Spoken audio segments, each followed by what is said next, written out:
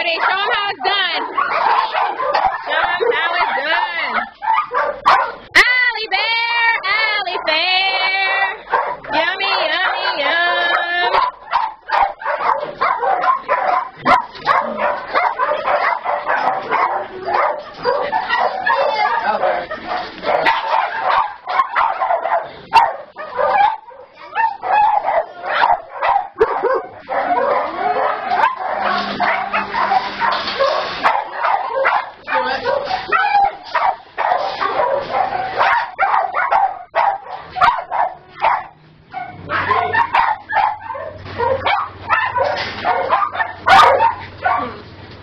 Never put theirs on top.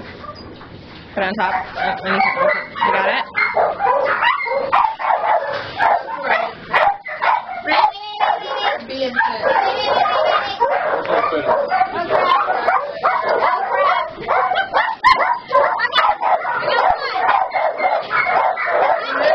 Do not try this at home. Good job.